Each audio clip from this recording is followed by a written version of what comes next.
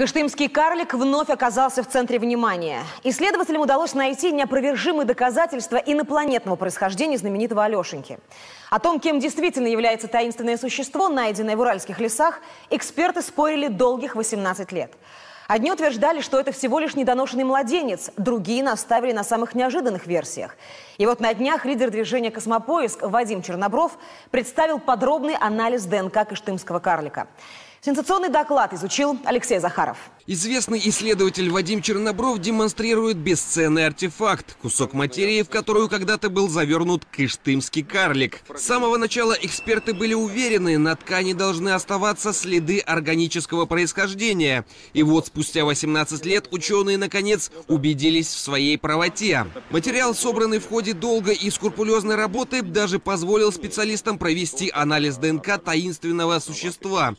Результат поразителен. Были идентифицированы гены э, неизвестного существа. Их не удалось э, сравнить, не, не удалось найти аналогов с, среди существующего банка данных э, животных, человека и наиболее э, распространенных на Земле э, существ.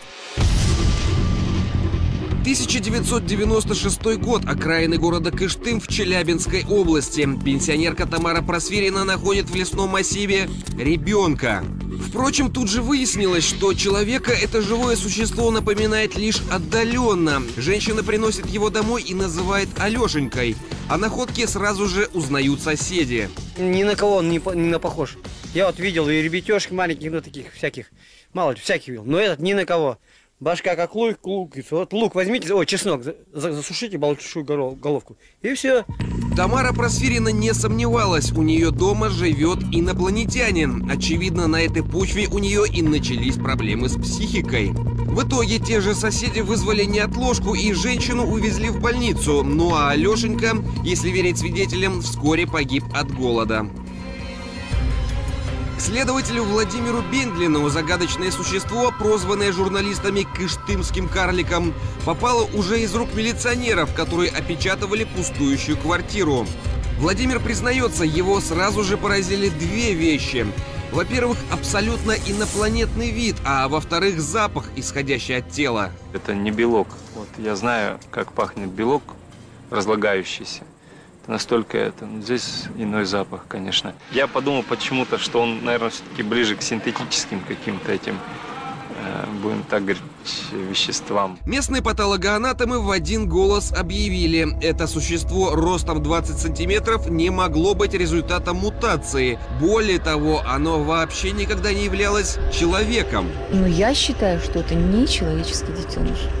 Нет человеческого тела, нет и уголовного дела. На дворе стояли суровые 90-е и с непонятным трупом просто не стали возиться. Тогда следователь и передал Алешеньку для изучения неким людям, которые представились уфологами. С тех пор ни их, ни кыштымского карлика никто больше не видел. Руководитель объединения «Космопоиск» Вадим Чернобров занимается этим делом уже без малого 20 лет. За это время свидетельств набралась целая папка. К сожалению, само тело исследователь увидеть не успел. Зато неоднократно общался и с бывшим следователем Бендлиным, и с жителями Кыштыма, и с местными патологоанатомами, которые обследовали труп. Скелет был полностью сформированным. Это скелет взрослого существа. У этого существа, по мнению патологоанатомов, э, был э, при жизни э, полный комплект зубов. Известно также, что тело Алешеньки было лишено пупка и каких-либо половых признаков, а отходы жизнедеятельности выводились прямо через поверхность кожи. Почему уральских исследователей не заинтересовала тогда эта аномалия, сегодня установить невозможно. Все, кто занимался делом кыштымского карлика в 96 году, уже либо умерли, либо категорически отрицают свою причастность к этому таинственному эпизоду.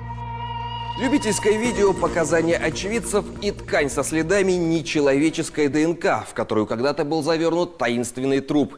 Казалось бы, что еще можно вытащить из этой давней истории. Но недавно выяснилось, дело кыштымского карлика рано прятать в архив. Вполне возможно, инопланетных существ было несколько. Я насчитал около десятка других очевидцев, которые рассказывали о появлении нескольких карликов Это может звучать фантастически, но, как удалось выяснить экспертам космопоиска, существ, похожих на Алешеньку, в Кыштыме 20 лет назад встречали регулярно. Местные подростки даже устраивали за ними настоящую охоту. Охотились, пытались догнать, пытались э, закидать камнями и палками бегающих э, по пригороду, по, по дачным участкам, бегающих нескольких э, маленьких небольших существ. Возможно, именно э, от их э, меткого броска одно из этих существ и стало инвалидом. Новая версия требует новых доказательств. В ближайшее время Вадим Чернобров намерен организовать очередную экспедицию на Урал.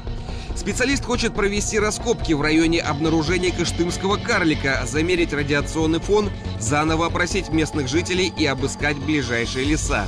Спустя 18 лет с момента пропажи Алешеньки исследователи рассчитывают найти следы его возможных сородичей и представить мировому сообществу неопровержимые свидетельства их существования.